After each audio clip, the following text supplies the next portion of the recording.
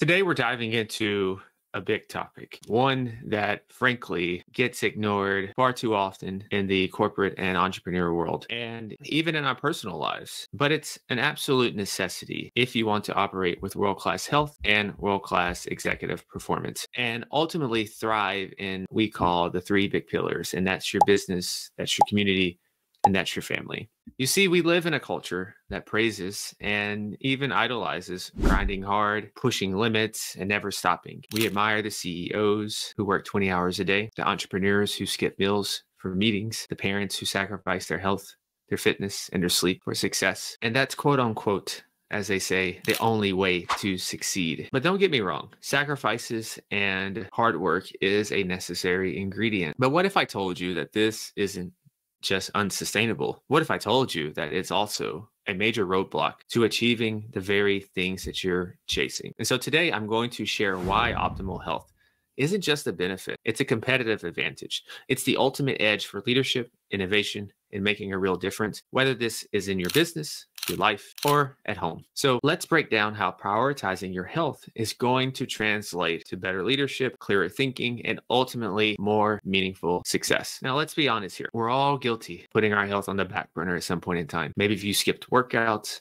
maybe if you cut back on sleep, or maybe if you grabbed something quick and processed for lunch just to save time a couple of times. But here's the catch every time we do this, every time that we neglect our health, what we're doing is we're borrowing energy from tomorrow, and eventually that bill will come due. And the more we prolong it, the bigger it gets, the more interest that accumulates. And so research shows that nearly 80% of executives admit to feeling regularly stressed, with a large percentage of those also facing burnout. And here's another twist with that when you are consistently exhausted, your cognitive function plummets. You're not innovating, you're not thinking strategically, you're just reacting. You're operating on autopilot. And that's a dangerous place to be. That's a suboptimal place to be. So I want you to think about it this way every time you choose convenience over your health, you're slowly chipping away at your own competitive advantage. It might not seem like a big deal today, but the compound effects over months, over years is astronomical. You may not feel the impact right now, but there's a cost to that's building, that's accumulating in the background. And that's going to show up in your energy, your mood, and your overall mental resilience. You're sacrificing future potential for short term wins. Now, let's actually look at the other angle. Let's flip this around. Imagine what's possible when you're operating at your best, when you're healthy, when you're sharper, when you're more decisive, when you're able to think several steps ahead like an awesome chess grandmaster. That's what leaders need. They need to innovate.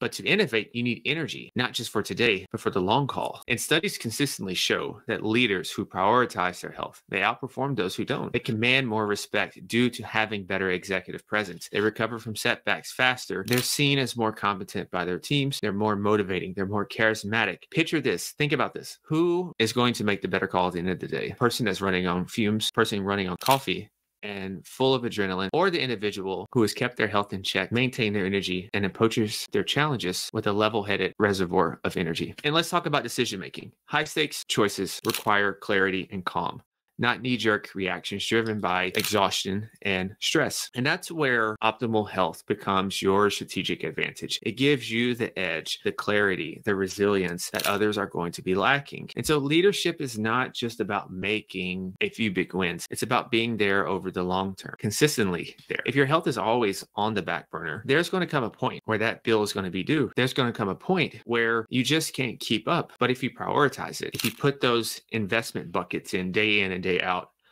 you're setting yourself up not just for career success, but you're setting yourself up for a life that is deeply fulfilling, resilient, impactful. And so imagine having the energy, having the health to be fully engaged with both your work and the people who matter most to you. Optimal health is not just productivity hack. Optimal health is not just about looking good in a suit. Optimal health is the gateway to showing up fully in every single area of your life. It's about being able to lead. It's about being able to succeed while still having more than enough energy left over to be present at your dinner table, to be active with your family and kids, and to be there present without compromise. Success is not just about hitting numbers, it's not just about achieving milestones. It's about the legacy that you're building. It's about how you're impacting society. And you can't do that if you are running on fumes. So it's time to get practical here. It's time to put some action steps here. And these are five steps to start prioritizing your health right now. Steps that will ultimately help you start operating more with an edge that, that's going to be needed to lead and succeed. And so, number one here is to prioritize your quality sleep. This sounds simple. We hear this all the time, but sleep is a massive factor when it comes to our cognitive functioning, when it comes to our mood, when it comes to our resilience, when it comes to our decision making. So, make sure that you're setting a regular sleep schedule. It's not just about quantity, it's about quality as well. Make sure that you are also limiting your screen time before bed. Make sure that mm-hmm. you're creating a restful environment. Make sure, and this is a shocking, this is a surprising one for a lot of people, get all this stuff out of your head before laying down at night. One of the things that I do is once I plan my day the night before, but I also journal a little bit because there's a lot of things going through my head. Sometimes there's various stressors in my life. Take some time just to get all that out. And this one change can have a ripple effect on everything else that you're doing. Step two is to move daily. I'm not talking about a huge gym commitment here or running for miles daily unless you like that stuff. Just prioritize moving your body. Walking is a foundation for everyone and then gradually build out from there. This can be with a couple of days of resistance training, cardiovascular training throughout the week. Movement ultimately improves your blood flow, which then improves your brain health, which then also keeps your mind sharp. Now, step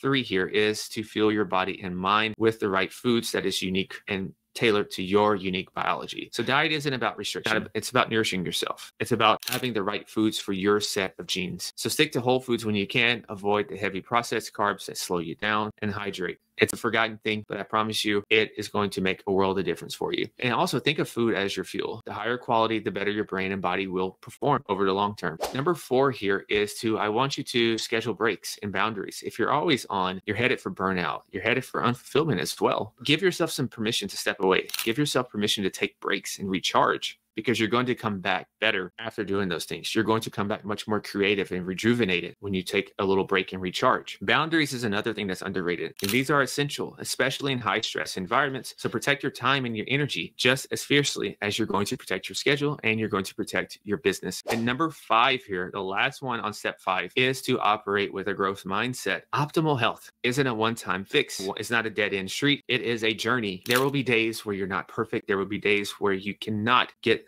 the training that you need in. There will be days where everything's going to hell in a handbasket, but the goal is to keep improving, even if it's 1%. And that's a Kaizen principle. Focus on steady progress. Remember that small steps ultimately add up over time and become large, monumentous things. And so here's what I want you to take away today optimal health. It's not just about feeling good, it's about securing your place as a resilient, as a visionary leader. It's about showing up at your best and being fully present for those who depend on you. You know, this whole thing is not just about us. There's a lot of people that we have influence over, whether positive or negative. So whether you're leading a team, whether you're building a business, raising a family, optimal health gives you the foundation to do it all with clarity, resilience, and purpose. Imagine being able to look back on your life and see that you didn't just chase success, but you lived fully engaged. You lived thriving. You had it all, as they say. Optimal health is not just another item on your to-do list. It's your greatest competitive advantage. It is your advantage and it's yours for the taking. Embrace it, prioritize it, and watch how everything else falls into place. So thanks for watching. If you found this episode valuable, please hit the like and subscribe button. If you haven't,